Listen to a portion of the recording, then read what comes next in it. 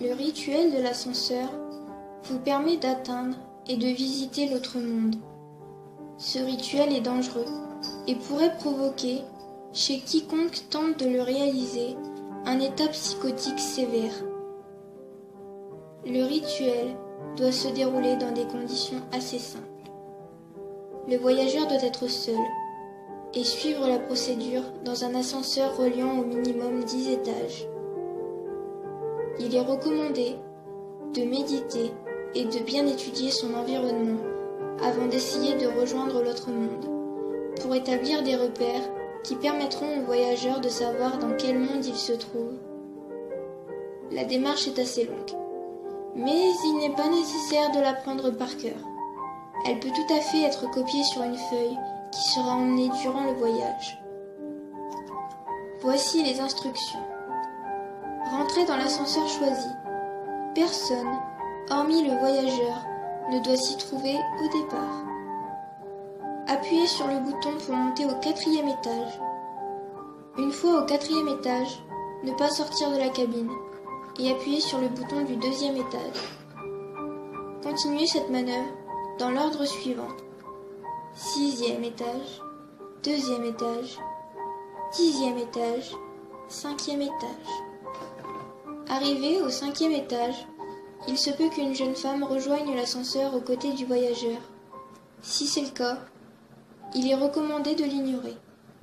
Ne pas chercher à savoir qui elle est, ni ce à quoi elle ressemble, car elle est bien différente de tout ce que l'on peut imaginer. Appuyez sur le bouton du premier étage. Si l'ascenseur, contrairement aux attentes, se met à monter vers le dixième étage, c'est que le rituel a fonctionné jusque-là. S'il se met à descendre vers le premier, il faut impérativement le quitter avant qu'il ne l'atteigne. Au dixième étage, il est possible de changer d'étage et de sortir de l'ascenseur pour annuler le rituel. Dans tous les cas, c'est au moment où les portes s'ouvriront sur le dixième étage que la jeune femme demandera Où allez-vous comme ça? Ne pas lui répondre est la meilleure chose à faire. Ne pas non plus la regarder. L'autre monde devrait être accessible en sortant de l'ascenseur. Note sur l'autre monde. L'étage sur lequel le voyageur débouche est très semblable au monde réel. Les seules choses qui diffèrent sont les éclairages qui ne fonctionnent pas. La seule source de lumière provient de croix rouges en feu, observables à travers les fenêtres.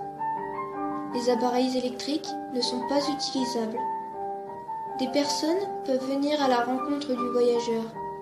Elles ne sont pas dangereuses.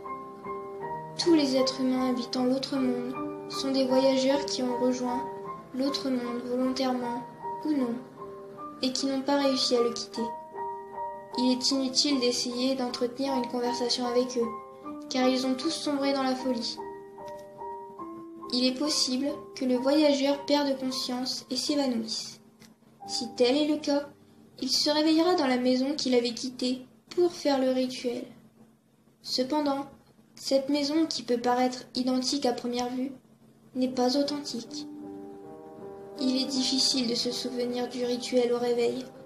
Tout ce qui peut éveiller les soupçons est le comportement végétatif des occupants.